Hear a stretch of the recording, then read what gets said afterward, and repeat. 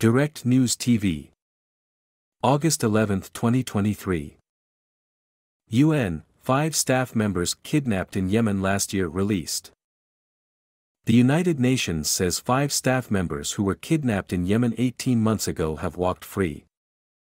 In a brief statement on Friday, Farhan Haq, deputy spokesman for UN Secretary-General Antonio Guterres, said all available information suggests that all five colleagues are in good health. The Secretary-General is profoundly relieved that their ordeal and the anxiety of their families and friends have finally come to an end, said Haq. The Secretary-General reiterates that kidnapping is an inhumane and unjustifiable crime and calls for the perpetrators to be held accountable. He also expresses his solidarity with other people still held against their will in Yemen. Haq said the freed men were Akm Sufiul Anam, Mazen Bawazir, Bakil al-Mahdi, Muhammad al-Maliki and Khaled Mokhtar Sheikh. All worked for the UN Department of Security and Safety.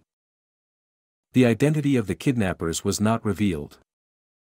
In February 2022, suspected al-Qaeda fighters abducted five UN workers in southern Yemen's Abyan province, Yemeni officials told the press news agency at the time. When asked about the abduction then, Guterres's lead spokesman, Stefan Dujarric, said, We are aware of this case, but for obvious reasons, we are not commenting. Al-Qaeda in the Arabian Peninsula, or AQAP, has been active in southern Yemen for years. It is considered one of the global network's most dangerous branches and has attempted to carry out attacks on the U.S. mainland. It has survived an intensive campaign over the last 10 years from the U.S. military, the Saudi Emirates-led military coalition, and the Houthi rebels, taking advantage of the chaos in Yemen, tribal sympathies, and large and empty swaths of South Yemen. Kidnappings are frequent in Yemen, an impoverished nation where armed tribesmen and groups take hostages to swap for prisoners or cash.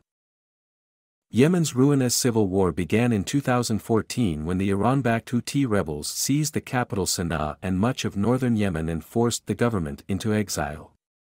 A Saudi-led coalition, including the United Arab Emirates, intervened the next year to try to restore the internationally recognized government to power.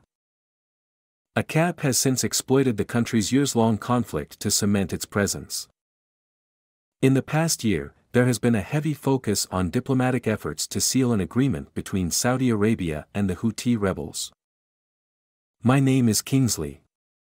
Please like, share, subscribe and hit that notification bell so you can be the first to be notified whenever we post you won't regret it.